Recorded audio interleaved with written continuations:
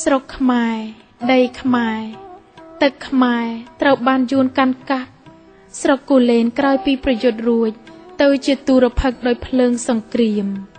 ទ្របសម្ផ្ទាំងពពកកូនក្អាត់ស្រែកយំទ្រហឹងអើងកងគ្មានពេលសម្រាកសោះតាមផ្លូវដ៏សែនស្ងាត់គ្មានអ្នកដំណើរចេញចូលក្រៅពីរទេះដែលផ្ទុកគ្រួសារពូជីវកំឡោះសេងនិងជន់ទាំងពីរនាក់ដើរតាមឃ្លាំមើលជាប់នឹងព្រឹត្តិការណ៍នេះ មិនឲ្យអ្នកណាឃើញឡើយរទេះចេញផុតមាត់ភូមិចូលក្នុងព្រៃដប់គៀនជើងភ្នំត្បែងយោធាទាញគោឲ្យឈប់យោធាចងខ្សែគោជាប់នឹងព្រែករទេះហើយសោតចុះទាំងពីរនាក់យកកំភ្លើងភ្ជង់ពូជីវយោធាម្នាក់ទៀតស្ទុះទៅយកខ្សែមកចងដៃពូជីវរីឯប្រពន្ធគាត់គេចងជើងជាប់ជាមួយកូនប្រុសនិងកូនស្រីដែលទៅមានអាយុ7ខែ និង9ឆ្នាំ យោធាទាញគ្រួសារពូជីវទម្លាក់មកដីដោយកំហឹងក្មេងស្រែកយំឮពេញព្រៃពូជីវគាត់អង្វរយោធាថាសូមមិត្តកុំធ្វើបាបគ្រួសារខ្ញុំអីមិត្តឲ្យខ្ញុំធ្វើអ្វីក៏ខ្ញុំធ្វើដែរសូមមិត្តទុកជីវិតគ្រួសារខ្ញុំចុះគ្មានចម្លើយយោធាស្ទុះវឹងវាយពូជីវនឹងស្វាយកំភ្លើងពីក្រោយដួលផ្ងាតងគាត់ស្រែកបានតែពីរម៉ាត់ កូនមាសឪពុក ហើយក៏ប្រកាច់បាច់ឈាមដួលសន្លប់បាត់ស្មារតីយោធាម្នាក់ទៀតកាប់គាត់ពី3ពូថៅពូយើងដាច់ខ្យល់ស្លាប់ភ្លាមមួយរំពេច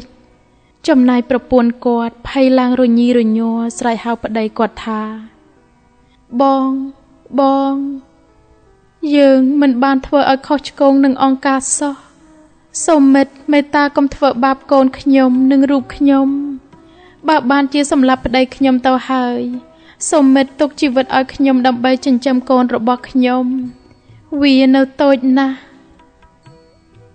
យុធាឆ្លើយថាយីហងឯងនិយាយច្រើនម្លេះ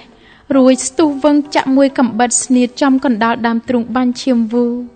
គាត់និយាយផ្ដែផ្ដាំកូនស្រីថា កូនខ្ញុំនៅតូចណាស់កូនស្រីមានម្ដាយ បើឥតពីម៉ែទៅ ចូលកូនចេះថែរក្សាប្អូន ព្រោះវានៅតូចណាស់កូនប្រុសមានម្ដាយខំបៅទៅកូន នេះជាទឹកដោះចុងក្រោយបងអស់សម្រាប់ឯងយើងអភ័ព្វណាស់កូនអើយម៉ែសូមម៉ែកុំស្លាប់ចោលកូនអីកូនមិនដឹងទៅពឹងពាក្យអ្នកណាទេម៉ែកំពុងតែនិយាយ យោធាចិត្តយងខ្នងធាក់កូនស្រីមួយជើងក៏សន្លប់បាត់ស្មារតីម្ដាយឃើញកូនស្រីគាត់ដួលផ្ងាក៏ស្រែកថា កូនស្រីមានម្ដាយភ្លាមនោះយោធាទាញយកពូថៅកាប់ចំកណ្ដាលក្បាលគាត់រួចក៏ដាច់ខ្យល់ស្លាប់ទៅរីឯកូនប្រុសគាត់វិញវាចាប់ជើងទាំងពីរបោកក្បាលនឹងគល់ឈើទាល់តែបាយឈាមស្លាប់មួយរំពេច កូនស្រីគាត់ក្រោយពីសន្លប់ឃើញឪពុកម្ដាយប្អូនប្រុសស្លាប់រនីលលើកដៃសំពះយោធាទាំងរញីរញ័រថា សូមពូអាណិតចិត្តប្រណីក្មួយឥតដឹងអីរស់ក្រៀមក្រំ លើកដៃទាំងពីរឡើងប្រណំខ្ញុំស្នើឲ្យសុំទុកជីវិត ក្រលេកឃើញម៉ែសុទ្ធតែឈាម ប្អូនពៅនៅស្ងៀមស្លាប់ជុំចិត្ត ឪគ្មានដឹងខ្លួនថាគេគិត ប្រឡាយជីវិតកូនសោះណាព្រះអើយមើលចុះទុកនៃខ្ញុំទុកនេះហៅធំបាត់គ្រួសារស្រណោះតែម៉ែទៅវាចាផ្ដែផ្ដាំខ្ញុំថាជួយមើលប្អូន យើងទៅហូបបាយនៅជួបជុំផុតពីជំនុំមកស្លាប់សូន កម្មគ្រួវាសួរមកផ្ទួនផ្ទួន ដោយមិនដឹងខ្លួនរោគពុទ្ធោយោធានិយាយថាអញសម្លាប់ឲ្យអស់មួយពូជនាងស្រីលើកដៃបួងសួង ជាតិក្រោយសូមរស់ឲ្យបានយូររហូតមានគូចាស់ជារាកុំឲ្យមានកម្មមកផ្ដន់ទី ដោយគ្រាពេលនេះអាយុខ្លី ខ្ញុំសូមបួងសួងអស់អិនព្រំ ព្រះគុណដែលធំលើលោកី សូមបើកព្រះនេត្រហើយវិនិច្ឆ័យទុកអ្វីហេតុអ្វីតែគ្រួសារខ្ញុំ មិនទាន់ចប់ផងយោធាវាយមួយស្វាយកំភ្លើង ចំកណ្ដាលក្បាលដួលស្លាប់ទាំងអស់គ្នានៅទីនេះទៅយោធាទាំងពីរនាក់ទាញយកកញ្ចប់ថ្នាំមកមួយជក់ ម្នាក់មួយបារីរួចក៏បរទេះចេញដំណើរទៅគ្រាន់តែយោធាចេញផុតពីព្រៃភ្លាមកសិករសេនឹងជន់ក៏បង្ហូរទឹកភ្នែក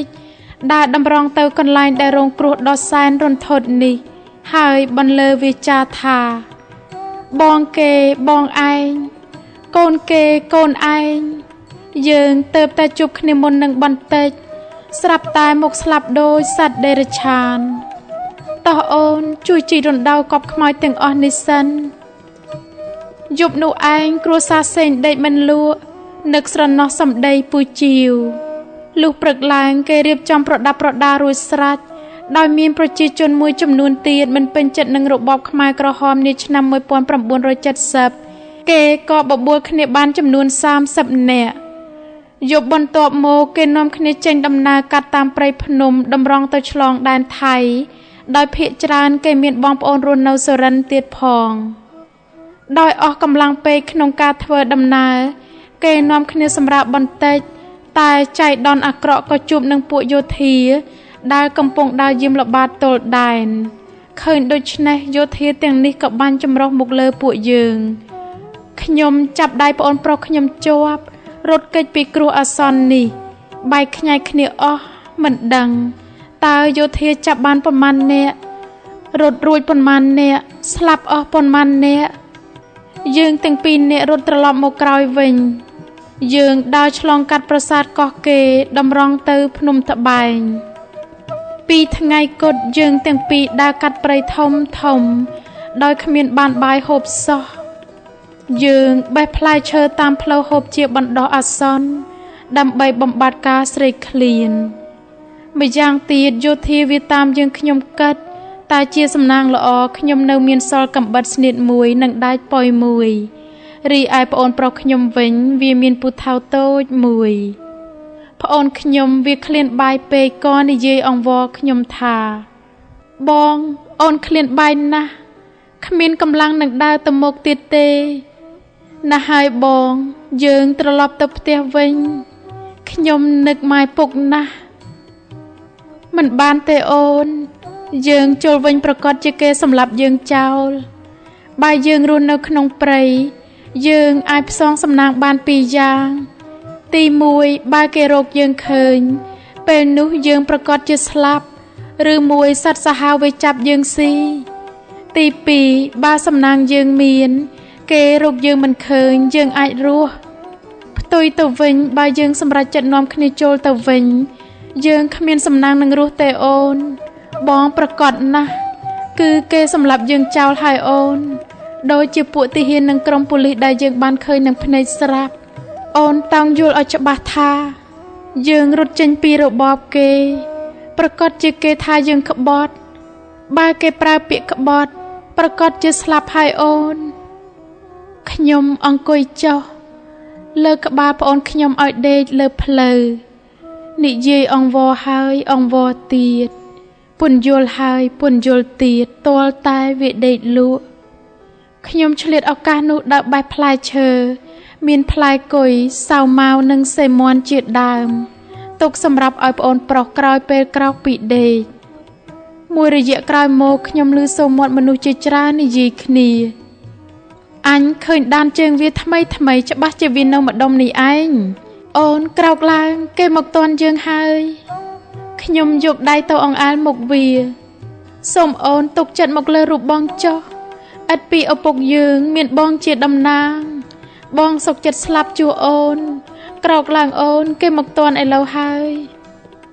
ឃើញអកប្បកិរិយានិងសម្ដីដ៏ពីរោះជន់នឹកអាណិតបងប្រុសស្ទើខ្លោចចិត្ត ហូរទឹកភ្នែកដោយមិនដឹងខ្លួន អ្នកទាំងពីរក៏ចាប់ផ្ដើមចេញដំណើរទៅមុខទៀតការតាមដានមនុស្សរត់ភៀសខ្លួនដោយពួកយោធាអស់រយៈ4ទៅ10ថ្ងៃមិនបានសម្រេចសោះក៏វិលត្រឡប់ចូលបន្ទាយវិញខ្ញុំគ្មានទុកចិត្តថានឹងរស់រៀនមានជីវិតសោះដោយមានឧបសគ្គច្រើនពេកយើងខ្ញុំប្រុងប្រយ័ត្នជានិច្ចគ្មានថ្ងៃណាពេលណាធ្វេសប្រហែសឡើយ យើងខ្ញុំផ្លាស់ប្ដូរទីកន្លែងរស់នៅរាល់ថ្ងៃយើងនាំគ្នាធ្វើអន្ទាក់ដាក់សัตว์ជួនកាលក៏បានសัตว์ជួនកាលមិនបាន យើងនាំគ្នាបេះផ្លែគុយហូបជំនួសបាយមានពេលខ្លះយើងបង្អើលសัตว์ខ្លាដែលវាខំប្រឹសឬឆ្លុះចំណាយស្បែកវាយើងសន្សំទុកសម្រាប់ស្លៀកពាក់ដោយការខ្វះខាតអំបិលយើងយកសាច់ទៅប្រឡាក់នឹងផេះឬត្រាំនឹងទឹកក្បង បានចំនួន4-5ខែក្រោយមកយើងដើររកបានរុនថ្មដាមួយកន្លែងស្រួលក្នុងការរស់នៅ យើងក៏សម្រេចចិត្តយកទីនេះជាជំរករបស់យើងយើងខ្ញុំពុំដែលឃើញមនុស្សឬអ្នកស្រុកណាម្នាក់ឡើងទៅដល់កំពូលភ្នំត្បែងរីឯសក់ក្បាលកាន់តែដោះវែងខុសពីប្រក្រតីសំលៀកបំពាក់ក៏រហែកអស់ដើម្បីផ្គត់ផ្គង់ការរស់នៅ យើងទាំងពីរអ្នកចាប់ផ្ដើមឆ្ការព្រៃរបស់តូចតូចធ្វើជាកូនចំការ យើងដាំពោតដាំស្រូវដែលយើងបានចុះមកលួចបូតគួស្រូវតាមជើងភ្នំត្បែងក្នុងពេលយប់ស្ងាត់នៅរដូវខែប្រាំងក្រោយភ្លើងឆេះព្រៃរួច យើងបានយកក្របលពៅត្រឡាចលាក់ទៅដាំតាមកំពូលព្រៃរបស់ឆ្នាំទី1បានកន្លងផុតទៅ ការរស់នៅក៏កាន់តែស្និទ្ធជាមួយនឹងសត្វព្រៃនិងរុក្ខជាតិឆ្នាំទី2ទី3យើងរស់នៅដោយសុវត្ថិភាពក៏ដូចជាឆ្នាំទី4ដែរ យើងតែងតែឮគេវាជួងនឹងស្គរក្នុងមួយថ្ងៃ3ដង គឺពេលព្រឹកថ្ងៃត្រង់និងល្ងាចលុះដល់ឆ្នាំ1976យើងឃើញមនុស្សរាប់ពាន់អ្នកស្រែកហូយ៉ាងសប្បាយគេនាំគ្នាលើកទំនប់ទឹកនៅភូមិភ្នៅដែលមានបណ្ដោយ5គីឡូម៉ែត្រនិងទទឹង15ម៉ែត្រលុះដល់ពេលយប់គេបើកភ្លើងអគ្គិសនីភ្លឺប្រងព្រាត គេចាក់បទភ្លេងបដិវត្តតាមមេក្រូ ពេលខ្លះគេលេងភ្លេងច្រៀងរាំយ៉ាងសប្បាយរីករាយបំផុតបណ្ដោយឲ្យប្អូនប្រុសខ្ញុំវាចង់ទៅលេងជាមួយនឹងគេដែរខ្ញុំបាននិយាយអង្វរប្អូនទាញយកហេតុនិងផល អំពីគ្រោះថ្នាក់ដល់ជីវិតយើងទាំងពីរប្អូនប្រុសខ្ញុំជាក្មេងប្រកបដោយគន្លងធម៌យល់ច្បាស់ក្នុងការរស់នៅពិតពិតសុខចិត្តអង្គុយយំយើងរស់នៅលើកំពូលភ្នំអស់រយៈពេល7ឆ្នាំ ការคลายខ្លួនប្រាណនៃយើងទាំងពីរនាក់កាន់តែធ្វើឲ្យខ្ញុំខ្លាច មិនត្រឹមតែយោធាទេសូម្បីអ្នកស្រុកធម្មតាក៏យើងខ្ញុំលែងទុកចិត្តនាឆ្នាំ1977ជាឆ្នាំរងគ្រោះដែលយើងមិននឹកស្មានថាឆ្លងផុតពេលនោះអង្គការខ្មែរក្រហមបានផ្លាស់ប្ដូរកម្មាភិបាលជាច្រើនលើកក្នុងរយៈពេល7ឆ្នាំនេះ ស្រុកគូលែនត្រូវបានក្រុមឧត្តរមកកាន់កាប់ដែលមានមិត្តឈ្មោះថនជាគណៈស្រុកមិនតែប៉ុណ្ណោះអង្គការបានបញ្ជូនយោធាចំនួន300នាក់មកពីតំបន់កំពង់ឆ្នាំងមកបោចវល់និងកាប់ឫស្សីដើម្បីធ្វើព្រួលសម្រាប់ផ្ដល់ទៅឲ្យក្រុមនេសាទនៅទន្លេសាបខេត្តកំពង់ឆ្នាំងចៃដនអាក្រក់ខ្ញុំកំពុងតែឡើងបេះផ្លែគុយស្រាប់តែខ្ញុំឃើញយោធាមួយក្រុមពីចម្ងាយដើរតម្រង់មករកខ្ញុំ ខ្ញុំសម្រត់ចុះយ៉ាងលឿនពេលនោះមានយោធាម្នាក់វាឃើញខ្ញុំក៏ស្រែកឡើងថាអាដែងសัตว์អីក៏ចម្លែកម្លេះជាសំណាងល្អខ្ញុំចុះមកដល់គោលតនស្រាប់តែយោធាវាបាញ់ប្រោតម្រង់មករកខ្ញុំខ្ញុំរត់គេចចូលក្នុងព្រៃក្រាស់ទៅរកប្អូនប្រុសរបស់ខ្ញុំដែលវាកំពុងកាប់ចំការនៅក្បែរនោះដែរយើងទាំងពីរនាក់រត់ចូលព្រៃធំចំណែកយោធាវាដេញតាមរហូតទៅដល់ចំការពោតនិងចំការស្រូវ ពួកយោធាតំបន់កំពង់ឆ្នាំងមិនទាន់បាននៅផានការរបស់ស្រុកគូលែនដោយនឹកស្មានថាកន្លែងនេះជាអង្គភាពរបស់អ្នកស្រុកគូលែនឲ្យមនុស្សមកធ្វើចំការលើកំពូលភ្នំក៏នាំគ្នាកាប់ពោតដុតហូបម្នាក់មួយឆ្អែតរួចក៏ចុះត្រឡប់ទៅវិញក្រោយពីចុះមកដល់ជើងភ្នំយោធាតំបន់កំពង់ឆ្នាំងបានទៅជួបនឹងប្រធានស្រុកគូលែនឈ្មោះថនហើយសួរថាមិត្តមានបានចាត់តាំងមនុស្សឲ្យទៅធ្វើចំការនៅលើកំពូលភ្នំឬទេ ប្រធានស្រុកឆ្លើយថា ទេខ្ញុំមិនដែលឲ្យមនុស្សទៅធ្វើចំការទេ ហើយមិនដែលមាននរណាហ៊ានឡើងទៅដល់កំពូលភ្នំផងបើដូចនោះមានតែពួកអក្បត់ទេដែលវារស់នៅទីនោះពីថ្ងៃក្រោយមកគេបានរៀបចំទ័ពចំនួន150នាក់ដែលចែកជា4ផ្នែកពេលអាត្រៀតយប់ស្ងាត់យោធាទាំងនោះឡើងដល់ចង្កេះភ្នំ ចំណែកបងនិងប្អូនដេកយ៉ាងស្ងប់ស្ងាត់ឬសូរតែស្រមុកនៅគៀនភ្នក់ភ្លើង ដោយគ្មានចាប់អារម្មណ៍ភ័យឬខ្លាចអំពីគ្រោះថ្នាក់ដែលនឹងមកដល់ក្នុងពេលបន្តិចទៀតនេះ រំពេចនោះស្រាប់តែមានតាចាស់ម្នាក់ស្លៀកពាក់សអាយុប្រមាណ60ឆ្នាំ មិនដឹងមកពីទិសណាឈរចំមាត់រន្ធថ្មដាស្រែកឡើងថា នេចៅក្រោកឡើង ក្រោកឡើង គ្រោះថ្នាក់របស់ចៅមកដល់ហើយ ប្រញាប់ប្រញាប់ក្រោកឡើងចៅកសិករសេងគាត់មានចំណាស់ជាងគាត់ក្រោកយ៉ាងរហ័សបានឃើញលោកតាស្លៀកពាក់សហើយក៏ដាស់ប្អូនប្រុសរបស់គាត់ក្រោកឡើងអូន អ្នកទាំងពីរថ្វាយបង្គំលោកតា3ដងកុំគួសំពេកចៅត្រូវចេញពីរូងនេះជាបន្ទាន់កងតបគេមកដល់ឥឡូវហើយ មកតាមតាភ្លាមមក អ្នកទាំងពីរប្រញាប់ប្រញាប់ចេញដំណើរតាមពីក្រោយលោកតាគាត់មិនបានយកអ្វីទៅជាមួយផងទេគ្រាន់តែចេញផុតបានបន្តិចយោធាបាញ់ចម្រុះមុខត្រង់ចំការពោតគេដុតបំផ្លាញដំណាំទាំងអស់ភ្លើងឆេះត្រឡោមពេញព្រៃផ្ទៃមេឃឡើងពណ៌ក្រហម យើងយំទាំងអស់សង្ឃឹមគួរឲ្យឆ្ងល់ណាស់កន្លែងនេះយើងដើរសឹងតែរាល់ថ្ងៃ មិនដាល់ឃើញមិនដាល់ជួបវត្ថុអ្វីក្រៅពីព្រៃឈើស្រាប់តែម្ដងនេះយើងជួបភូមិមួយដែលយើងខ្ញុំមិនដាល់ស្គាល់សំបីតែមនុស្សក្មេងចាស់រស់នៅក្នុងភូមិក៏ពុំដាល់ឃើញដែរទេសភាពចម្លែកនេះធ្វើឲ្យយើងរឹតតែមានការឆ្ងល់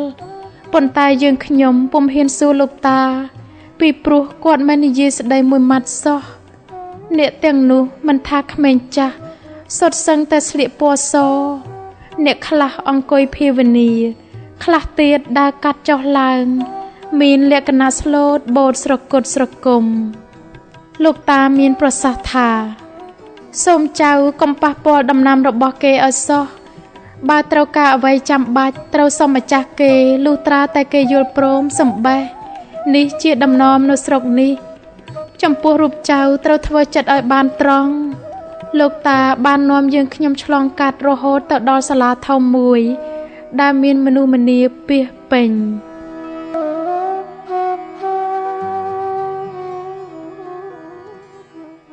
ការជួបប្រទេសលោកគ្រូសក់កណ្ដាញ់យើងខ្ញុំបានឃើញលោកគ្រូសក់កណ្ដាញ់អង្គុយពេនភ្នែនបិទព្រះនេតបន្ទាប់មកឃើញលោកនេនមួយអង្គសុទ្ធសឹងតែបិទព្រះនេតរី ឯលោកតាម្នាក់ទៀតគាត់កាន់ខ្មោះមួយជាប់នៅនឹងដៃគ្រាន់តែឃើញយើងខ្ញុំទៅដល់ភ្លាម លោកគ្រូកណ្ដាញ់មានពុទ្ធដីកាថា លោកគ្រូចូលចម្រើនអ្នកចំណូលថ្មី អ្នកទាំងអស់គ្នាបើកភ្នែករួចបែរមករកយើងខ្ញុំ គេទទួលយ៉ាងរាក់ទាក់បំផុតតាអាចារ្យក្មួយមួយនិយាយមកកាន់យើងខ្ញុំថា ចូលចៅទៅងូតទឹកលាងបាប សឹមយើងត្រឡប់មកហូបបាយវិញសូមឧបាសកឧបាសិការៀបចំបាយទឹកទទួលគាត់ផង ក្រោយពីយើងខ្ញុំហូបបាយរួចក៏ចូលទៅថ្វាយបង្គំលោកគ្រូ3ដង ចូលចម្រើនញោមគ្រោះថ្នាក់របស់ញោមបានចាក់ផុតទៅហើយលោកគ្រូសក់កណ្ដាញ់បានពន្យល់តាមវិធីទេសនាយ៉ាងក្បោះក្បាយមានដូចតទៅ ជាដំបងញោមប្រហែលជានឹកឃើញ ឬស្គាល់អាត្មា លោកតាក្មួយមួយនិងលោកនេនកាលពីស្រុកយើងនៅមានសន្តិភាពនាឆ្នាំ1966ក្នុងស្រុកគូលែននិងស្រុកជាំខ្សានអាត្មាបានចុះពីលើភ្នំទៅអង្វរកឧបាសកឧបាសិកា ប្រជាពលរដ្ឋប្រុសស្រីក្មេងចាស់ខំតាំងចិត្តសម្រួលកាយឲ្យបានល្អលះបង់នៅកិលេសគ្រប់បែបយ៉ាង ទាំងក្រហមនិងបបជិត កុំប្រព្រឹត្តនៅអំពើណាដែលផ្ដាល់ទោសផ្ដាល់ទុកដល់អ្នកដទៃ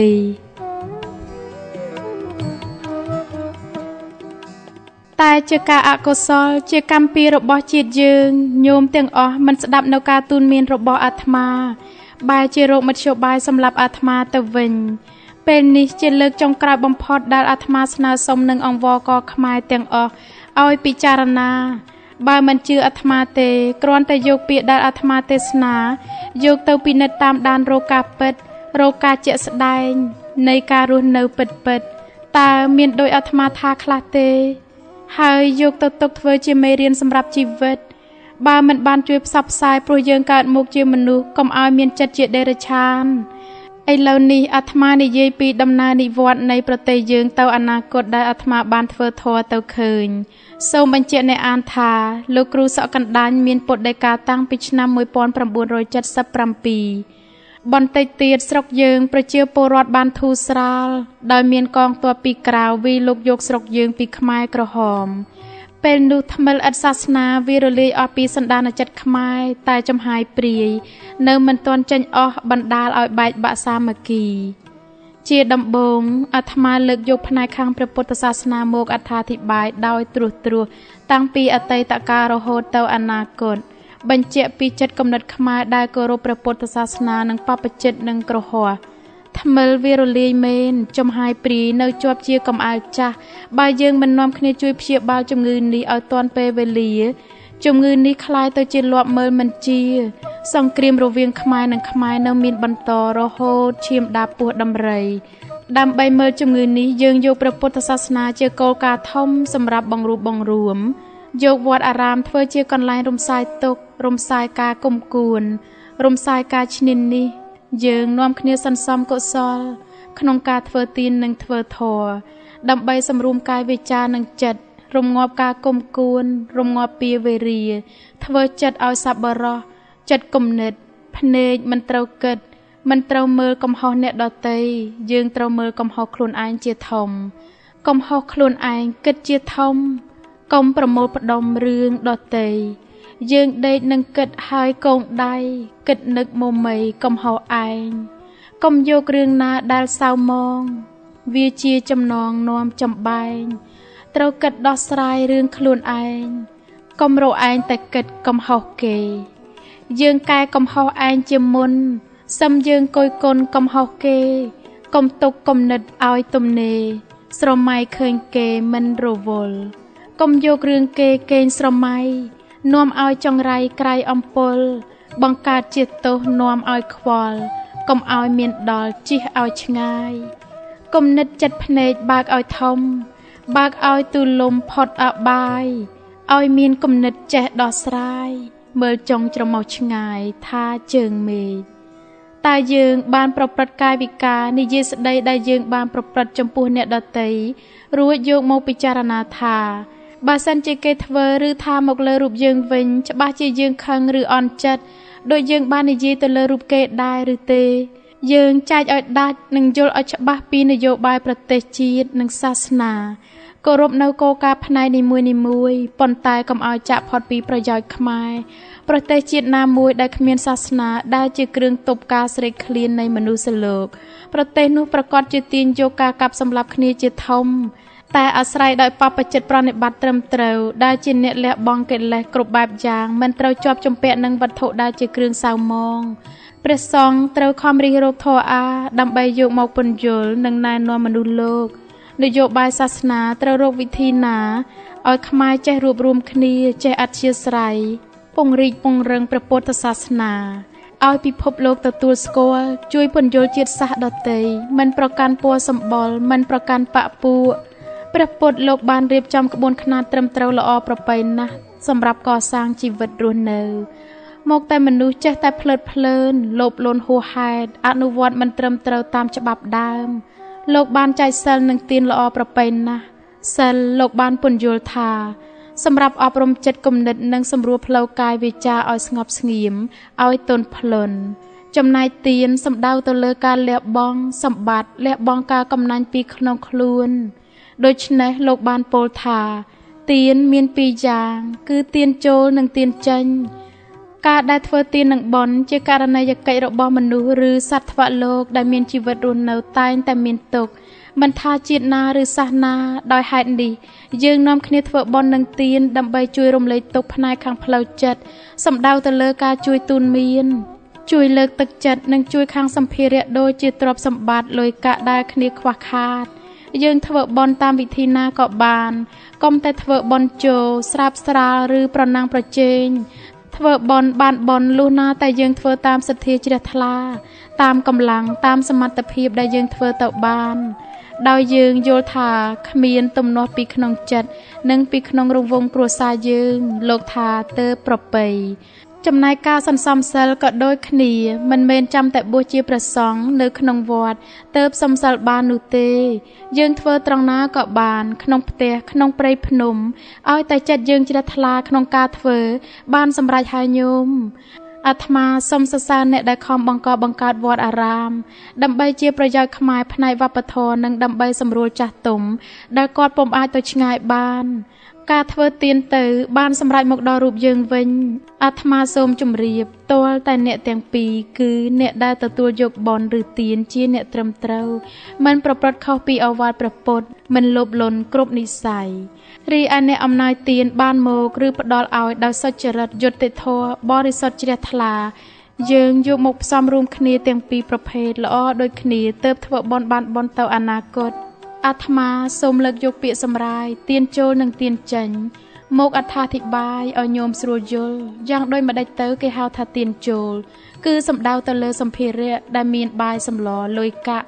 ដែលយើងរាល់គ្នាបានធ្វើទៀនទៅប្រគេនព្រះសង្ឃឬទៅអ្នកទុរគតសម្រាប់ទ្រទ្រង់វត្តអារាម ទ្រទ្រង់ចាស់ទុំដែលមកសំណាក់ធររីឯព្រះសង្ឃឬបុគ្គលដែលបានទទួលអមិសទានឬតេយទានក្រោយពីទទួលគ្រប់គ្រាន់ក្នុងការទ្រទ្រង់ជីវិតឬសម្រួលសម្ភារៈដែលខ្វះខាតបានគ្រប់គ្រាន់ហើយត្រូវតែធ្វើទានចេញទៅវិញ គឺជួយទៅដល់អ្នកក្រីក្រ កូនកំព្រាអ្នករងគ្រោះកសាងសាលារៀន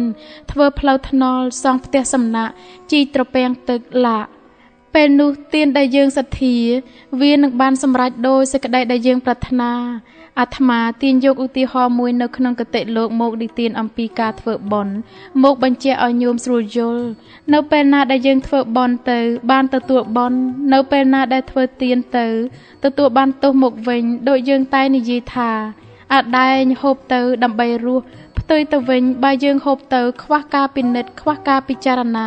ក្រែងវាមិនរស់វាទៅជាស្លាប់ទៅវិញ ការកន្លងយូរមកហើយមានគ្រួសារមួយគាត់ជាមនុស្សសប្បុរសជាអ្នកចូលចិត្តធ្វើបន់ស្រាប់តែថ្ងៃមួយមានបរិះម្នាក់មិនដឹងមកពីទីណា មកសុំគាត់សំណាក់នៅបុរសនោះនិយាយថា សូមលោកពូមេត្តាជួយស្រោចស្រង់ជីវិតខ្ញុំផងខ្ញុំគ្មានឪពុកម្ដាយបងប្អូននិងញាតិមិត្តពឹងពាក់អាស្រ័យទេ ក្រោយពីការអង្វរកពូយើងមិនបានពិនិត្យពិភាកឲ្យបានដិតដល់ដោយការអាណិតអាសូរក៏និយាយទៅកាន់ប្រពន្ធគាត់ណាស់ហើយម៉ែវាយើងជួយយកអាសាគ្នាទៅ យើងនាំគ្នាធ្វើបន់ធ្វើទានសម្រាប់ទៅអនាគត 10ថ្ងៃក្រោយមកអញ្ញាធោគេតាមដានមករកឃើញបរោះនោះក៏ចាប់យកទៅ ដោយបរោះនោះប្រព្រឹត្តល្មើសនឹងច្បាប់រដ្ឋអាត្មាសួរថាតើអ្នកដែលទទួលចិញ្ចឹមបរោះនោះមានទោសឬទេតើធ្វើបន់ដោយពូខាងលើនេះបានបន់ឬមួយបានបាបសរុបសេចក្តីមកមិនខុសគ្នាពីព្រះសង្ឃដែលមិនគោរពវិន័យជាសង្ឃ ឆ្លៀតឱកាសនេះអាត្មាសូមសរសើរនិងគោរពទៅដល់ព្រះសង្ឃដែលគោរពនិងប្រណិប័តវិន័យត្រឹមត្រូវដែលព្រះអង្គខិតខំស្រាវជ្រាវធម៌អាឲ្យបានត្រាស់ដឹងសម្រាប់ជាពន្លឺដល់ព្រះពុទ្ធសាសនា លោកគ្រូមានពុទ្ធដីកាថា ការធ្វើបុណ្យជាការកសាងខ្លួនទៅអនាគត ចំពោះបច្ចុប្បន្នក៏យើងធ្វើ គឺសម្រាប់ការរស់នៅរាល់ថ្ងៃសំខាន់ណាស់ញោមគឺសំដៅទៅលើគ្រួសារនីមួយៗ ព្រោះមនុស្សរាល់រូបតែងតែមានគ្រួសារជាប់ជាជួរជាខ្សែតតគ្នាតែមានឪពុកម្ដាយកូនចៅជីដូនជីតាឡាក់មេគ្រួសារនីមួយៗត្រូវតែខំរិះរកមធ្យោបាយដើម្បីផ្ដល់សុភមង្គលក្នុងរង្វង់គ្រួសាររបស់ខ្លួន យើងនាំគ្នាឧទ្ទិស សូមឲ្យគ្រួសារបានសេចក្តីសុខទាំងអស់គ្នាកុំឲ្យមានការព្រាត់ប្រាសនិរាដោយសពថ្ងៃបើឪពុកម្ដាយជីដូនជីតាចង់ទៅរស់នៅឋានសួគ៌ចង់ទៅរកសេចក្តីសុខតែម្នាក់ឯងទុកឲ្យកូនចៅវេទនារទេរតាយំពីមុខយំពីក្រោយតើយើងដែលជាមេគ្រួសារទៅរស់នៅឋានសួគ៌បានសុខទេតើឋានសុខផ្ដល់សេចក្តីសុខឲ្យញោមទេ បើកូនចៅមិនចុះសម្រុងគ្នា ការជាក់ស្ដែងយើងត្រូវជួយគ្នាម្ដាយត្រូវជួយកូន ចំណែកកូនត្រូវយល់ចិត្តម្ដាយនាំគ្នាកសាងគ្រួសារឲ្យមានសុភមង្គល តាំងពីគ្រួសារតូចរហូតដល់ធំ ពេលនោះយើងធ្វើបន់ធ្វើទានជ្រះស្រឡះគ្មានសៅមងទៅបយើងរកសេចក្តីសុខឃើញដូចញោមបានឃើញអស់លោកដែលបានសម្រេចធម៌មករស់នៅលើកំពូលភ្នំត្បែងគេរស់បានសុខមានសុភមង្គល ទាំងកូនទាំងចៅទាំងប្តីប្រពន្ធ និយាយឲ្យចំគឺទាំងចំកោមគ្រួសារជាផោះតាងស្រាប់ញោមក្រោយពីកងទ័ពវារំដោះយកបានសាសនាមកពីថ្មិលមកវិញ យើងទាំងអស់គ្នានឹកស្មានថាបានសុខសប្បាយមានសន្តិភាពគ្រប់និស័យទាំងព្រះពុទ្ធសាសនា ទាំងវប្បធម៌យើងសង្ឃឹមថាបាននាំគ្នាធ្វើបន់ធ្វើទានកសាងវប្បធម៌សិល្បៈទំនៀមទម្លាប់បានពេញលក្ខណៈជាខ្មែរជាច្បាប់ក្រមត្រឹមត្រូវយើងសន្មត់ថាធ្វើបន់ធ្វើទានបានសុខធ្វើចិត្តល្អបានផលល្អមកវិញផ្ទុយទៅវិញជាការបោកបញ្ឆោត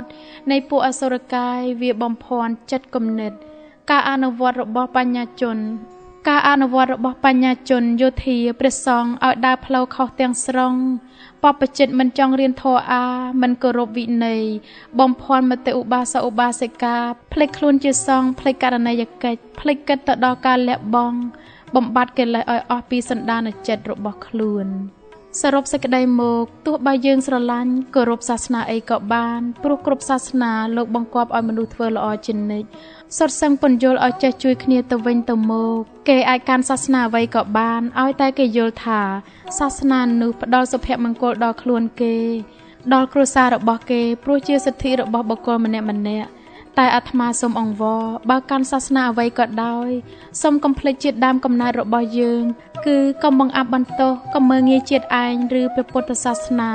ដែលជាហេតុនាំឲ្យបរទេសមើងងាយយើងត្រូវចេះទាញយកផលប្រយោជន៍ពីសាសនា ឬជាតិនានាមកបម្រើជាតិដើមកំណើតយើង យើងបម្រើផលប្រយោជន៍ប្រជាពលរដ្ឋយើងទៅប្រសើរដើម្បីឲ្យស្រួលយល់អាត្មាទាញយកឧទាហរណ៍មកពិចារណា យើងដឹងហើយថាគ្រូពេទ្យមានមុខងារជាអ្នកជួយព្យាបាលជំងឺមនុស្សឬសត្វមិនប្រកាន់វណ្ណៈពណ៌សម្បុរដើម្បីឲ្យជាសះស្បើយឥឡូវអាត្មាសួរថាបើសិនជាញោមមានមុខងារជាគ្រូពេទ្យវិញតើញោមធ្វើដូចម្ដេចបើសិនជាគេចាប់បានសត្រូវដែលមានរបួសយកមកប្រគល់ឲ្យញោមតើញោមបំពេញករណីយកិច្ចក្នុងឋានៈជាគ្រូពេទ្យ យកអ្នកជំងឺទៅព្យាបាលឬមួយញោមកាត់ទោសក្នុងឋានៈជាតុលាការដោយសំអាងថាជាសត្រូវយ៉ាងណាមិញព្រះសង្ឃជាឃ្លាំងធរមានភារកិច្ចជាអ្នកជួយរំលែកទុក្ខជួយរំសាយទុក្ខជាអ្នកត្រួសត្រាយផ្លូវជាអ្នកនាំផ្លូវឧបាសកឧបាសិកាឬប្រជាពលរដ្ឋអាត្មានិយាយផ្នែកសង្គមកិច្ចតើញោមមានបានពិនិត្យមើលឲ្យដិតដល់ទេ តាំងពីមុនរំដោះរហូតមករំដោះរួច តើព្រាយអសុរិកាយវាបំភាន់មតិប្រជាពលរដ្ឋខ្មែរឲ្យទៅជាយ៉ាងណាបើយើងនិយាយពីផ្នែកមនោសញ្ចេតនាក្រោយពីខ្មែរទទួលទុក្ខវេទនាគ្រប់របបមកធ្វើឲ្យបេះដូងប្រជាពលរដ្ឋបែកខ្ទេចខ្ទីគ្មានទីពឹងជាពិសេសរបបខ្មែរក្រហម ធ្វើបាបប្រជាពលរដ្ឋខ្លួនឯងហួសនិស័យក្នុងមួយថ្ងៃលុះប្រលឹង3ដងលុះមកជួបនឹងរបបខ្ញុំយួន ក៏ប្រើពាក្យរំដោះជាតិប្រជាពលរដ្ឋខ្មែរបានធូរស្រាលតែអនាគតយើងត្រូវអស់ដីដូច្នេះប្រជាពលរដ្ឋត្រូវតែមានអំរែកពីរដោយពាក្យចាស់លោកថាចុះទឹកក្រពើឡើងលើខ្លា ខ្លះក៏នាំកូនចៅរត់ចូលព្រៃរត់ចោលស្រុក ខ្លះទៀតសុកចិត្តទ្រាំរស់នៅក្នុងស្រុក ទៅជាព្រាត់ប្រាស់កូនប្រពន្ធប្តីម៉ែឪសាជាថ្មីទៀតតើដោយហេតុអ្វី នេះគឺមកតែពីការយល់សប្តិ មកតែពីការនឹកស្រមៃនៃបុគ្គលមួយចំនួន ធ្វើឲ្យខ្មែរវេទនាហើយនៅតែមិនទាន់ស្ងប់ មិនទាន់អស់ចិត្តបន្តការសុបិននេះទៅអនាគតទៀតដូចញោមជ្រាបស្រាប់មានតែប្រជាជនតូចតាច អ្នកស្រែចម្ការកម្មករអ្នកតស៊ូតូចតាចទេដែលទទួលរងគ្រោះដែលវេទនារោគគោលដៅគ្មាន ចំណែកបុគ្គលទាំងនោះមិនទាំងស្គាល់ពាក្យថាវេទនាដោយម្ដេចផង ប្រជាពលរដ្ឋគ្មានអ្វីទីពឹងដើម្បីទ្រទ្រង់ជីវិត ដើម្បីការពារខ្លួនឲ្យបានសុខក្រៅពីការបន់ស្រន់ទេវតាសូមលោកជួយថែរក្សារីឯបុគ្គលនោះវិញ គេមិនទាំងជំនឿទេវតាឬកូនម៉ែឪគេជឿទៅលើទេវប្រាក់និងអំណាចបពួកជិះជាន់អ្នកក្រខ្សត់ជាធំអស់សង្ឃឹមហើយញោមព្រីអសុរកាយវាមិនអត់ឱនទេ វាធ្វើឲ្យមនុស្សកាន់តែលោភលន់រំលោភសិទ្ធិគ្នាទៅវិញទៅមកគ្មានជនណាម្នាក់ យល់ពីទុករបស់យើងក្រៅពីខ្លួនឯងទេ មនុស្សក្នុងលោកគ្រប់សញ្ជាតិសខ្មៅលឿងព្រាតរស់លើដី មានរូបមានទុករឿងទីតីអ្នកផងមិនភ័យពីទុកយើង មិនបានចំណេញថាមិនល្អ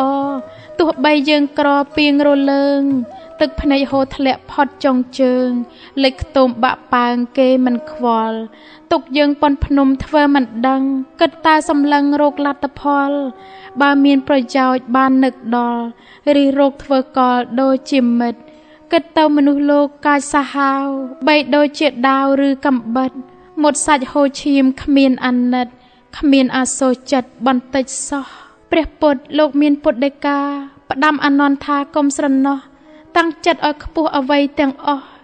ទៅបយើងអាចដោះស្រាយទៅបានអាត្មានិយាយពីចិត្តមនុស្សនិងមនោសញ្ចេតនាក្រោយពីទទួលការឈឺចាប់ដោយទារុណកម្មតាមផ្លូវចិត្តនិងផ្លូវកាយមកលែងទុកចិត្តគ្នាលែងចង់តាក់ទងគ្នាហើយកិច្ចឬលាក់មុខដូចជាសត្វពងរូលខ្លាចគ្នាដូចជាសត្វមន់ខ្លាចកន្លែងដេកក្រោយពីសត្វសម្ពុយខំស៊ីមិនបានលែងចង់រាប់រកគ្នា បងរវាងប្អូនកូនរវាងឪមិត្តរវាងមិត្ត ម្នាក់ម្នាក់អស់សង្ឃឹមក្នុងជីវិតคล้ายទៅជាមនុស្សកាយសាហាវលែងជួយទំនុកបំរុងគ្នាយកតែប្រះអាយុរៀងរៀងខ្លួនដែលជាកត្តាធ្វើឲ្យខ្មែរកាន់តែទន់ខ្សោយកាន់តែយ៉ាប់យឺនកាន់តែថោកទាបធ្វើឲ្យខ្មែរកាន់តែគេមើងងាយគ្រប់ទិសដោយការខ្វះខាតដោយកត្តាខាងលើនេះហើយដែលធ្វើឲ្យខ្មែរកាន់តែឃ្លាតឆ្ងាយពីគ្នាដែលជាហេតុបំផ្លាញសង្គមខ្មែរខ្លួនឯង យើងកំពុងនាំគ្នាច្របាច់កសម្រាប់ជាតិឯងដោយមិនដឹងខ្លួនយល់នៅការឈ្នាននេះคล้ายទៅជាអំពើល្អបំផ្លាញសេចក្តីសុខអ្នកដតីទៅជាសុភមង្គលសម្រាប់ខ្លួនវិលវល់យកត្រូវជាខុសយកខុសជាត្រូវយកលៀមមួកជាផ្កាយកអណ្ដើកផ្ទឹមនិងដំរីប្រឡាប់ចាក់អណ្ដរធានអស់ស្រុកទេអាត្មាលើកយករឿងមួយមកនិទានសម្រាប់ជាកតិទៅអនាគត ដំណើរជាយូរមកហើយមានព្រៃដ៏ធំធេងមួយសម្បូរទៅដោយសត្វស្វា ស្វាទាំងនោះមិនដែលរស់នៅបានសុខសាន្តសោះព្រោះមានការកំហែងគំរាមពីសត្វសាហាវមានសត្វខ្លាជាដើមដែលនាំគ្នាមកចាប់ខំស៊ីស្វាជារៀងរាល់ថ្ងៃសត្វស្វាទាំងអស់ពួតដៃគ្នាដេញបងអើលឲ្យសត្វសាហាវរត់ចេញពីព្រៃអស់សត្វស្វាទាំងនោះសប្បាយរីករាយនាំគ្នាហូរកញ្ជ្រៀវ មិននឹកស្មានថានឹងកើតមានគ្រោះកាចផ្សេងផ្សេងទៀតដែលគេមិនបានព្រៀងទុកឬចាប់ផ្លឹកថានឹងកើតមានឡើយស្រាប់តែមានថ្ងៃមួយភ្លើងព្រៃឆេះសន្ធោសន្ធៅខ្លះរត់ចេញក៏ស្លាប់អស់កូនចៅ ខ្លះរត់ចូលរនឈើខ្លះទៀតរត់ទៅសុំគេសំណាក់នៅជាមួយនឹងសត្វប្រើសជ្រូកព្រៃនិងដំរីសត្វស្វាដែលរស់នៅជាមួយគ្រួសារដំរីក៏ធ្វើរឹកពីដូចជាសត្វដំរី រីឯអ្នកដែលរស់នៅក្នុងជាមួយនឹងជ្រូកព្រៃធ្វើរឹកកាយសាហាវដូចជាជ្រូកព្រៃរំលងជាយូរឆ្នាំមកម្រេងគង្វាលជាអ្នកថែរក្សាសត្វព្រៃឃើញទុក្ខវេទនារបស់ពួកសត្វស្វាក្នុងការព្រាត់ប្រាស់ក៏ប្រកាសហៅប្រជុំហើយបានសម្រេចយល់ព្រមថាឲ្យស្វាត្រឡប់ទៅរស់នៅជួបជុំគ្នាវិញក្នុងព្រៃកំណើតរបស់ខ្លួនវិញក្រោយពីស្វាបានជួបជុំមានបញ្ហាកើតឡើងដោយសុភាសិតខ្មែរ ចូលស្ទឹងតាមបត់ចូលស្រុកតាមទេសស្វាខ្លះលែងចេះនិយាយភាសាដើមកំណើតរបស់ឯងអ្នកដែលនៅជាមួយគ្រួសារដំរីធ្វើរឹកដូចជាដំរីចង់និយាយតាក់ទងគ្នាតលតែលើកដៃឲ្យជាសញ្ញាមិនយូរប៉ុន្មានក៏កើតមានទំនាស់រវាងគ្រួសារស្វាម្នាក់ម្នាក់ក៏តាំងខ្លួនជាអ្នកខ្លាំងពូកែលេងស្ដាប់គ្នាក៏តាំងប្រកាប់ប្រចាក់ខំសម្លាប់គ្នាឯងសារជាថ្មីម្ដងទៀត មរិញគង្វាលឃើញដូច្នោះក៏និយាយថា ដង្កូវកើតពីក្នុងសាច់ខ្ញុំមើលមិនជាទេมันខុសពីសត្វទុនសាយថាឲ្យក្រពើ ស្រែងអ្នកឯងតាំងពីដូនតា គ្រូពូកែយ៉ាងណាមើលមិនជាដែរឥឡូវនេះអាត្មាសញ្ជាក់ពីផ្នែកនយោបាយម្ដង ក្រោយពីថ្មិលចាក់ចេញពីប្រលឹងខ្មែរនិងក្រោយពីខ្មែរបានភ្លក់គ្រប់របបមក ប្រជាពលរដ្ឋខ្មែរភ្ញាក់ព្រឺនិងយល់ច្បាស់នៅគំនិតបញ្ញវន្តនិងអ្នកដឹកនាំខ្មែរផ្ទុយស្រឡះពីជាតិសាសន៍ដទៃមានប្រទេសថៃនិងយួនជាគំរូអនាគតប្រជាពលរដ្ឋខ្មែរមានគំនិតថ្មី ជាខ្មែរភ្ញាក់រលឹកលែងយកទ្រឹស្ដីជាធំ យកការជាក់ស្ដែង យកការរស់នៅពិតដោះស្រាយក្នុងជីវិតព្រោះកន្លងមកទ្រឹស្ដីបានតែថា មានតែក្រឡាថាក្រឡាធ្វើគឺគ្មាន ដូច្នេះហើយបានជាប្រជាពលរដ្ឋល្ងងខ្លៅក្រីក្រវេទនារងទុក្ខរហូតដល់អស់ទឹកដី ដោយបញ្ញវន្តខ្មែរជាអ្នកដើរតួគេស្ទាត់ជំនាញក្នុងការបោកបញ្ឆោត ហើយលេងលបែងឆ្ពិនភ្នែកធ្វើជាអាចារ្យស្លូតបូតដោយឈ្មោះផ្លូវដែលគេបានកសាងរួចមកហើយនេះមិនគឺស្នាដៃខ្មែរយើងជាបញ្ញវន្តទេឬអ្វីបន្ទាប់មកអាត្មាលើករឿងសម្ដេចសីហនុមកនិទាន សូមបញ្ជាក់លោកគ្រូសក់កណ្ដាញមានពុទ្ធដីកាតាំងពីឆ្នាំ1977ម្លេះសពថ្ងៃព្រះអង្គជាប់ឃុំឃាំងរបស់ពួកខ្មែរក្រហម តែព្រះអង្គមិនស្គត់ទេ កាលពីឆ្នាំ1973ព្រះអង្គបានយាងចេញពីប្រទេសចិនឆ្លងកាត់តាមប្រទេសយួនហាណូយរួចយាងតាមផ្លូវហូជីមិញចូលមកប្រទេសខ្មែរតាមស្ទឹងត្រែងរួចតាមតំបន់ព្រះវិហារ កាលនោះអាត្មាបានចុះពីលើកំពូលភ្នំត្បែងទៅជួបនឹងព្រះអង្គនៅអង្គរវត្តតែគ្មានជនណាម្នាក់ដឹងនឹងស្គាល់អាត្មាថាជាស្អីទេរឿងដែលបណ្ដាលឲ្យអាត្មា លើកយករឿងសម្ដេចសីហនុមកនិទានគ្រាន់ជាការបង្ហាញភាពពិតខ្លះសម្រាប់ញោមយកទៅវិនិច្ឆ័យហើយសូមញោមកុំភ្លេចតាមសង្កេតមើលតើអាត្មានិយាយទៅ មានភាពពិតខ្លះទេ មនុស្សលោកដែលកើតមកហើយមិនថាចាស់ឬក្មេង ឬសាសជាតិដតីឯទៀតក្នុងលោកនេះ តែងតែមានព្រំលិខិតមកជាមួយ មានអ្នកថែរក្សាការពារមានសម្ពីបនសម្ពីសំណាងសម្ពីទុកមាននិស័យមានទំនាយមានកម្មមានភ័ព្វព្រេងដែលទេវតាលោកបានដៅទុកពាក្យចាស់លោកថាជោគវាសនាទុកសម្រាប់ជនគ្រប់រូបមិនថាប្រុសឬស្រី យើងគួរតែនាំគ្នាចោទសួរខ្លួនឯងថាចុះយ៉ាងដូចម្ដេចបានជារូបយើងមិនព្រមទៅកើតក្នុងវងត្រកូលស្ដេចក្នុងវងត្រកូលសេដ្ឋីឬអ្នកមានសម្បត្តិច្រើនមកពីអ្វីលោកពោលថា មកតែពីសំណាងបុណ្យសំណាងកុសល សំណាងទាន ដែលយើងបានកសាងទុកមកពីជាតិមុនអ្នកខ្លះក៏ចោទសួរទៀតថាចុះយើងខ្ញុំខំធ្វើបន់ខំធ្វើទាន ខំតាំងចិត្តឲ្យល្អខំធ្វើអំពើល្អតែលទ្ធផលបានទុកមកជំនួសវិញ ត្រង់ចំណុចនេះអាត្មាបានពន្យល់ខ្លះក្នុងផ្នែកព្រះពុទ្ធសាសនា គឺទី1មកតែពីយើងធ្វើបន់នឹងទានមិនជ្រះថ្លាមិនតាមសទ្ធា ទី2មកពីអ្នកទទួលយកទានមិនប្រកបនិយមជាព្រះសង្ឃទី3កម្មអកុសលដែលយើងបានប្រព្រឹត្តមកពីមុន មកច្រើនពេកលោកយកឧទាហរណ៍ក្នុងក្រោលគោដែលពោពេញទៅដោយគោដែលមានសម្បុរខ្មៅហើយមានគោសម្បុរសតិចតួចដល់ពេលអ្នកកងវាលគោបើក្រោលគោបញ្ចេញម្ដងម្ដង គេសង្កេតឃើញតែគោខ្មៅរត់ចេញពីក្រោលយ៉ាងណាមិញរីបននឹងបាប របស់បុគ្គលម្នាក់ម្នាក់យើងសង្កេតឃើញយ៉ាងនេះដែរការសន្សំបន់ការធ្វើល្អ ត្រូវចំណាយពេលយូរណាស់រហូតផុតជីវិត ចំណាយការអាក្រក់តែមួយវិនាទី គឺបានទទួលផលអាក្រក់ភ្លាមអាត្មាមិននិយាយពីការសិក្សាអក្សរសាស្ត្រទេ ព្រោះការរៀនសូត្រអ្នកណាជនណាជាតិសាសនាក៏រៀនចេះឲ្យតែយើងចង់រៀនដោយពាក្យចាស់លោកថា ចេះមកពីរៀនមានមកពីរោគ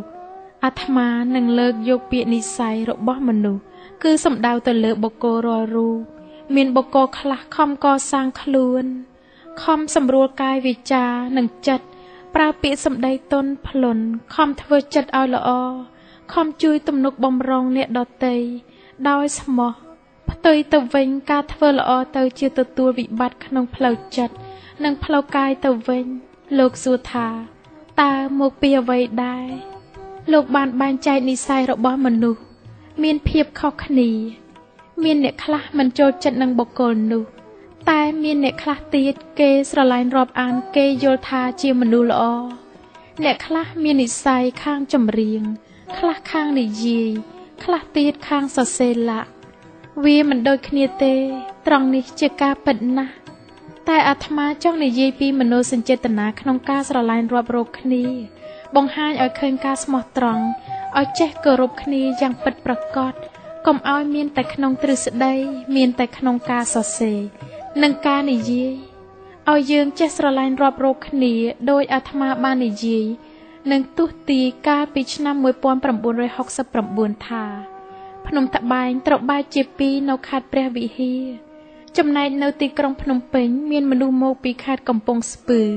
ឡើងលើទងព្រះអង្គដង្កើមិនព្រមចុះដី មានរន្ទះបាញ់វត្តភ្នំ មានកោសិលមកពីខេត្តកំពង់ស្ពឺត្រូវមីននិងទាហានបាញ់មិនត្រូវនៅមាន ក្នុងខេត្តនិងស្រុកដទៃទៀតឡាទាំងអស់ជាអភូតហេតុបង្ហាញថា ស្រុកយើងមានកើតអាសន្នអាត្មាសូមឲ្យញោមទាំងអស់គ្នាខំសន្សំសិលខំធ្វើចិត្តឲ្យល្អចេះអធិស្ស្រ័យគ្នា តែគ្មាននរណាជឿអាត្មាបែរជារោគមធ្យោបាយសម្រាប់អាត្មាទៅវិញ និយាយរួម គឺមកពីកម្មផលរបស់យើងរាល់រូបរិះរោគកលល្បិចធ្វើឲ្យមនុស្សវេទនា បង្កឲ្យមានទំនាស់បណ្ដាលឲ្យទម្លាក់សម្ដេចពីប្រមុខរដ្ឋតើប្រជាពលរដ្ឋមានទុក្ខវេទនាដោយអាត្មាទុះទាយមែនទេតែញោមដឹងទេមកពីអ្វី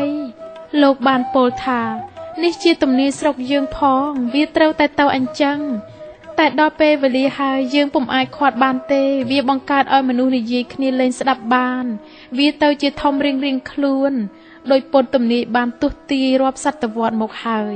ត្រង់នេះអាត្មាគ្រាន់តែដកស្រង់យកវគ្គខ្លះមកបញ្ជាក់តើមានភេទពិតមែនទេពុទ្ធទំនាយលោកថា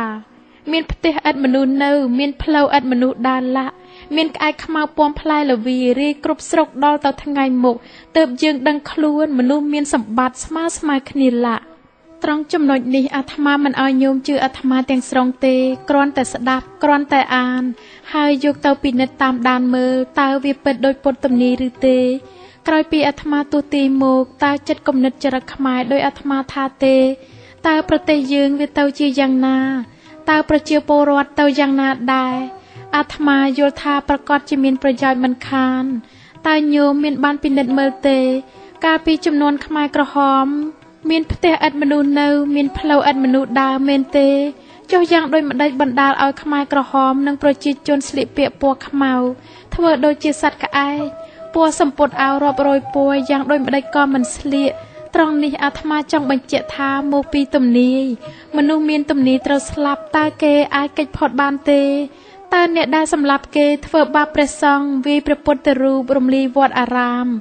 ធ្វើបាបប្រជាពលរដ្ឋតើកិច្ចផុតពីគេសម្លាប់ ពីគេធ្វើបាបបានវិញទេញោមប្រហែលជាយល់ច្បាស់ជាងអាត្មាថារបបខ្មែរក្រហមជារបបវាយបំបីវណ្ណៈសក្តិភូមិបំបីរបស់ចាស់តែព្រាយអសុរកាយវាបំភាន់ធ្វើឲ្យមនុស្សយល់ច្រឡំទៅជារបបចាស់ក្រោយពីយកក្រុងភ្នំពេញបានខ្មែរក្រហមតាំងចាប់បំផ្លាញឯកសារវប្បធម៌អក្សរសាស្ត្រសិល្បៈឃ្លាំងប្រាក់ ព្រះវិហារថ្នាំពេទ្យនិងគ្រឿងសម្ភារៈផ្សេងផ្សេងទៀតមិនតែប៉ុណ្ណោះគេបានជំលះមនុស្សចេញពីទីក្រុងរាប់សែនលាននាក់ប្រជាពលរដ្ឋអ្នកមានជំងឺមកសម្រាប់ពេទ្យមានមនុស្សពិការមនុស្សវិកលចរិតមកវេទនាស្លាប់ព្រាត់ប្រាសវេទនាម៉ែឪកូនប្រពន្ធរងទុកដោយឥតបាយក្រហាយទឹកអាត្មាសួរញោមរាល់គ្នាថាមុនខ្មោចចូលថ្មិលមិនតន់កើតតើយើងរាល់គ្នា ធ្វើដូច្នេះទៅកើតទេគ្រាន់តែយើងឃើញមនុស្សវេទនាឃើញបងប្អូនរងទុកមិត្តភ័ក្តិមានភ័យដោយឥតបាយប្រការផ្សេងផ្សេងយើងនាំគ្នាជួយជ្រោមជ្រែងជួយអាណិតអាសូរមនោសញ្ចេតនាស្រឡាញ់គ្នាកក់ក្ដៅចុះទម្រាំយកមនុស្សទៅសម្លាប់ដោយវានឹងត្បូងចបបោកនឹងគល់ឈើកាប់នឹងពូថៅឬចាក់នឹងកំបិតលាក់ ធ្វើទារុណកម្មរួយសួរចម្លើយឲ្យគ្នាឆ្លើយប្រច្រាស់មិនបានធ្វើខុសផងឲ្យឆ្លើយថាបានធ្វើខុសមិនបានក្បត់ជាតិឲ្យឆ្លើយថាក្បត់ជាតិឡាអាត្មាសូមជម្រាបថាពួកអ្នកសម្លាប់គេវានឹងមិនដឹងខ្លួនថាវាកំពុងនាំគ្នាទៅសម្លាប់ផងព្រាអសុលវាធ្វើឲ្យឃើញមនុស្សដែលត្រូវគេសម្លាប់ទៅជាសត្វដេរឆានដោយសត្វគោប្រោះឆ្លុះឬត្រី គេឃើញឈាមអ្នកដែលរងគ្រោះទៅជាកម្រងផ្កា ពាក្យបណ្ដាសាឬថាពាក្យជូនពោដូច្នេះពួកឃាតករក៏คล้ายទៅជាសប្បាយចិត្តក្នុងការសម្លាប់មនុស្សដូចគ្នាគ្មានញញើតដៃអាត្មាសួរថាចុះចំពោះញោមវិញព្រីវាមិនចូលក្នុងខ្លួនតើហ៊ានយកមនុស្សទៅសម្លាប់ទេ បើគេគ្មានរឿងអ្វីជាមួយនឹងយើងផងមនុស្សប្រុសពេញវ័យ4 10នាក់ទៅជាហុចដៃឲ្យកូនក្មេងជាយោធាអាយុ12ឆ្នាំ2នាក់សម្លាប់យ៉ាងស្រួលចុះហេតុអ្វី លោកធុដងរាប់ពាន់អង្គសកត់ក្នុងរូងភ្នំតបែងដោយសัตว์ខ្លាស៊ីពស់ចឹកនិងប្រការផ្សេងទៀតរួចចុះអង្គដតីឯទៀតមិនសកត់ហេតុអ្វីដែរបើលោកធ្វើធัวមានរិទ្ធដូចគ្នានៅក្នុងរូងជាមួយគ្នា ត្រង់នេះអាត្មាចង់និយាយថាមកពីទំនេរមនុស្សដែលមានជោគវាសនារបស់យើងរាល់រូបខុសគ្នា យើងបាននិយាយគ្នាពីមុនមកថារបបខ្មែរក្រហមជារបបបំបាយវណ្ណៈសក្តិភូមិចុះសម្ដេចវណ្ណៈអ្វីដែរតើខ្មែរក្រហមវាសប្បាយចិត្តនឹងទុកសម្ដេចនាំឲ្យទៅជើងទៅដៃវាមិនមែនចូលចិត្តនឹងព្រះអង្គទេវាខំរកមធ្យោបាយធ្វើកុដព្រះអង្គដែរតែទៅមិនរួចកុំថាឡើយតែចំនួនខ្មែរក្រហម ទោះបីចំនួនមុនលោកសំសាវីគាត់បានដាក់ក្របបាយចង់ធ្វើកុដព្រះអង្គតែមិនត្រូវព្រះអង្គត្រឡប់ទៅត្រូវត្រង់វាគ្រីវ៉ាន់វិញដូចនេះទំនាយព្រះអង្គមិនទាន់អស់ព្រះជន្មទេឧទាហរណ៍ជាក់ស្ដែងនៅក្នុងតំបន់ព្រះវិហារមានកូនសម្ដេចមួយព្រះអង្គនិងព្រះអង្គម្ចាស់ស៊ីសវ័តសុំទោសខ្ញុំមិនស្គាល់ឈ្មោះត្រូវពួកខ្មែរក្រហមយកទៅធ្វើកុដនៅជើងភ្នំត្បែងចុះទម្រាំសម្ដេចមានវណ្ណៈជាក្សត្រ មិនតែប៉ុណ្ណោះពួកវាបានពន្យល់អ្នកស្រុកគូលែនថា គេចាប់សម្ដេចឲ្យទៅរិចទឹកស្រោចស្ពៃនិងឲ្យទៅកងវិលសេះផ្ទុយទៅវិញដោយជោគវាសនាព្រះអង្គខ្ពស់ពួកខ្មែរក្រហមវាទៅជានាំគ្នាសម្លាប់លោកហ៊ូនឹមលោកហ៊ូយុនលោកសូណែមវាវាបង្ខំឲ្យឆ្លើយថាគាត់បំរើខ្សែរយៈការសេបេឬ CER ដើម្បីជាលេសបំភាន់មតិមហាជនស្រួលក្នុងការសម្លាប់ ប្រជាពលរដ្ឋខ្មែរ85%នៅតែទុកចិត្តស្រឡាញ់និងគោរពព្រះអង្គសូម្បីតែរបស់ស័ក្តិសិទ្ធិមានអ្នកសច្ចាំងជាច្រើននៅតែតាមថែរក្សាព្រះអង្គញោមមាននឹកឃើញទេ ក្រោយពីធ្វើរដ្ឋប្រហារសម្ដេចបានប្រកាសតាមវិទ្យុពេកាំងថា កូនចៅអើយចូលព្រៃមេគីប្រជាពលរដ្ឋខ្មែរមានមនោសញ្ចេតនាជាប់ជំពាក់ស្រឡាញ់ទុកចិត្តទៅលើព្រះអង្គក៏នាំគ្នារត់ចូលព្រៃមានទាហានប៉ូលីស រដ្ឋការស៊ីវិលនិស្សិតប្រជារាស្ត្រដើម្បីជួយរំដោះស្រុកអនិច្ចាអើយវីរជនទាំងនោះត្រូវគេសម្លាប់ចោលទាំងអស់លុះដល់គេរំដោះយកស្រុកបានខ្មែរក្រហមទាំងរកកលល្បិចតាកទាញអ្នកដែលស្រឡាញ់អ្នកដែលគោរពសម្ដេចដោយពួកវាប្រកាសគ្រប់ភូមិគ្រប់ស្រុកនិងខេត្តនានាថា បើមិនណាចង់ទៅគាល់សម្ដេចនរោត្តមសីហនុពួកគេនឹងជូនទៅគាល់អស់ចាមែនមនុស្សរាប់ម៉ឺននាក់នាំគ្នាមកចុះឈ្មោះអ្នកទាំងនោះត្រូវស្លាប់ដោយអណោចអធមខ្លោចផ្សាបំផុតត្រង់នេះអាត្មាចង់បញ្ជាក់ពីមនោសញ្ចេតនាប្រជារាស្ត្រនៅតែទុកចិត្តទៅលើព្រះអង្គរហូតមកដល់សប្តាហ៍ថ្ងៃនេះ អាត្មាមិនមែនសរសើរព្រះអង្គថាសុទ្ធតែត្រូវទាំងអស់នោះទេ តែក្នុងចំណោមអ្នកធ្វើខុសមានព្រះអង្គគ្រាន់បើជាងគេ អ្នកដែលត្រូវគេសម្លាប់គឺជាទំនាយរបស់គាត់ព្រោះក្នុងចំណោមអ្នកទាំងនោះមានអ្នកខ្លះគេសម្លាប់ហើយតែមិនស្លាប់ឧទាហរណ៍ជាក់ស្ដែងពួកនិស្សិតមួយចំនួនសុកចិត្តលះបង់អ្វីទាំងអស់ដើម្បីជួយកសាងជាតិអនិច្ចាអើយត្រូវគេសម្លាប់ចោលអស់មួយចំនួន សរុបសេចក្តីមកព្រះពុទ្ធលោកមានពុទ្ធដីកា គ្មានអ្វីជាអមតៈឲ្យតែកើតឡើងមានរូបរាងមានជីវិតតែងតែមានទុករួចក៏ស្លាប់ទៅវិញព្រោះជាច្បាប់ធម្មជាតិមិនអាចជន់ណា ម្នាក់កិច្ចផុតបានឡើយអាត្មាសូមស្លេះត្រង់នេះសិនអាត្មាចង់និយាយពីចរិតខ្មែរម្ដងអាត្មានិយាយពីកលការរបបនីមួយៗមកបញ្ជាក់ឲ្យញោមស្រួលយល់ឧទាហរណ៍ដូចជាក្នុងរបបរាជានិយម សាធារណរដ្ឋកម្ពុជាប្រជាធិបតេយ្យឬសង្គមនិយមសុទ្ធសឹងតែពន្យល់ឲ្យអ្នកដឹកនាំឬអ្នកធំជួយរកយុទ្ធធរជូនរាជជូនប្រជាពលរដ្ឋមិនប្រកាន់វណ្ណៈពង្រីកពង្រឹងព្រះពុទ្ធសាសនាឧបត្ថម្ភអសរសាស្ត្របង្កើតវប្បធម៌ធ្វើប្រទេសឲ្យឯករាជ្យមិនរណបឬខ្ញុំកញ្ចេះបរទេសណា តែការពិតជាក់ស្ដែងតែញោមឃើញយ៉ាងដូចម្ដេចដែរ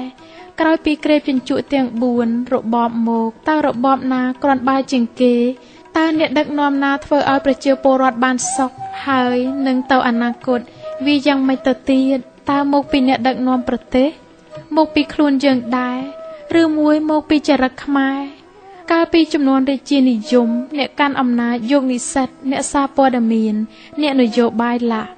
ដែលនិយាយប៉ះពាល់ទៅលើសង្គមទៅលើរូបអ្នកដឹកនាំរំលោភសិទ្ធិមកលើប្រជាពលរដ្ឋមកលើអ្នកតូចតាចក្នុងការសរសេរក្នុងការនិយាយមានពេលខ្លះជារឿងពិតដូចជាធ្វើបាបគ្រូបង្រៀននៅខេត្តក្រចេះវាស្រាតខោលោកខៀវសំផនចោទថាពួកកុម្មុយនីសយកព្រៀបអិនចៅបូរី ទៅសម្លាប់ចោលនៅខេត្តកំពង់ស្ពឺចោទថាខ្មែរសេរីឡា លុះដល់រដ្ឋអំណាចធ្លាក់មកលើសាធារណរដ្ឋក៏តាំងចោទស្ដេចថាជិះជាន់ប្រកាន់បពពួកលក់ដីឲ្យទៅយួនកោសាំងស៊ីនសូរិនទៅប្រទេសថៃ តាំងចាប់ពូជពងខ្សែស្រឡាយស្ដេចយកទៅដាក់គុកធ្វើបាប ចោទថាអ្នកនេះពួកកុម្មុយនីសអ្នកនោះបពពួកស្ដេចយកទៅដាក់គុកព្រៃសរលុះមកដល់អំណាចកម្ពុជាប្រជាធិបតេយ្យវិញ គេបំផ្លាញខ្ទេចតាំងពីផ្ទះសម្បែងសិល្បៈវប្បធម៌អក្សរសាស្ត្រ ទំនៀមទម្លាប់ខ្មែរអួតខ្លួនខ្លាំងជាងសម័យអង្គរអួតអាងខំកសាងជាតិតាំងពីបាតដៃទទេ មានអីដល់យួនដេញចូលព្រៃយកតែបាតដៃទទេទៅជាមួយមិនខុសគ្នា ពីយើងចូលហ៊ុនរកស៊ីធ្វើជំនួញដោយមិនដាក់លុយហ៊ុន ទីបំផុតសម្រាប់ជាតិឯងសម្រាប់ខ្មែរគ្នាឯង3លាននាក់ខុសពីពួកអាឡឺម៉ង់វាសម្រាប់តែជាតិសាសន៍ដតី ចុងក្រោយនេះរបបសង្គមនិយមមានការកាប់សម្លាប់គ្នាដដែលជាដដែលអស់ទឹកដីទាំងអស់คล้ายខ្លួនទៅជាខ្ញុំយួនអាត្មានិយាយនេះមិនមែនជាគំនុំដើម្បីឲ្យយើងគុំគួនគ្នានោះទេគ្រាន់តែបញ្ជាក់ឲ្យយុវជនចំនួនក្រោយស្គាល់ឲ្យច្បាស់ពីចរិតខ្មែរសូមចោទសួរខ្លួនឯងថាតើមកពីរបបឬមកពីអ្នកធំ ឬមកពីខ្លួនយើងដែរកុំចូលចិត្តយកបាយទៅលាបមាត់ពពេ តើខ្លួនយើងម្នាក់ម្នាក់ត្រឹមត្រូវហើយឬនៅ តាំងចោតថាមកពីស្ដាច់មកពីអ្នកធំមកពីអ្នកនេះមកពីអ្នកនោះវាជាការពិតអ្នកធំត្រូវទទួលខុសត្រូវធំ អ្នកតូចត្រូវទទួលខុសត្រូវតូចគិតទៅយើងនាំគ្នាសម្លាប់ជាតិសម្លាប់ប្រជាពលរដ្ឋស្លូតត្រង់ល្ងងខ្លៅរាប់លានអ្នកដោយគ្មានន័យមិនដឹងចង់បានអ្វីពិតប្រកបផង ការសម្លាប់ប្រជាជនឯង គ្រាន់ជាការលំអជាការសងសឹកក្នុងបំណងបំពេញការសប្បាយរបស់បុគ្គលមួយចំនួនប៉ុណ្ណោះគេនាំគ្នាសម្លាប់អ្នកនិយមស្ដេចតាំងពីដើមមកទីបំផុតនៅតែមានអ្នកស្រឡាញ់ស្ដេចគេនាំគ្នាសម្លាប់អ្នកស្រឡាញ់កុម្មុយនីសនៅតែមានពួកកុម្មុយនីសគេនាំគ្នាសម្លាប់ពួកលោកសេរី នៅតែមានអ្នកស្រឡាញ់លោកសេរី ដូចនេះការសម្លាប់គ្នាមិនមែនជាការដោះស្រាយរោគសន្តិភាពជូនប្រទេសជាតិមាតុភូមិនោះទេដោយចំនួនខ្មែរក្រហម ដើម្បីឲ្យគេគោរពខ្លួនតាំងប្រើកម្លាំងទ័ពកម្លាំងបាយបងប្អូនពេលនោះយល់ថាជាការអស់ផ្លូវនិងអស់សង្ឃឹមគ្មានអ្នកណាអាចរើរួចពីរបបនេះទេ ផ្ទុយទៅវិញនៅតែគេរើបំរើរួចដោយហេតុអ្វីលោកគ្រូសក់កណ្ដាលមានពុទ្ធដីកាបើចង់បានអំណាចចង់បានឲ្យគេគោរព មិនមែនប្រើកម្លាំងបាយកម្លាំងទ័ពនេះទេត្រូវធ្វើយ៉ាងណាឲ្យប្រជាជនទុកចិត្តស្រឡាញ់រាប់អានត្រូវជួយរំដោះស្រាយទុក្ខវេទនាអ្នកក្រីក្រត្រូវគោរពគោលការណ៍ដែលយើងបានគ្រងទុកត្រូវគោរពពាក្យសម្ដីដែលខ្លួនបានសន្យាស្រឡាញ់ជាតិដោយស្មោះត្រង់ត្រូវសាមគ្គីគ្នាជាធ្លុងមួយទៅប្រកសន្តិភាពមកវិញបានគិតទៅយើងជាគំនិតចៅចាក់ស្មុកចាញ់គំនិតបរទេសឆ្ងាញ់ណាស់មានយួននិងថៃជាដើម បរទេសធ្វើអ្វីសុទ្ធសឹងតែមាន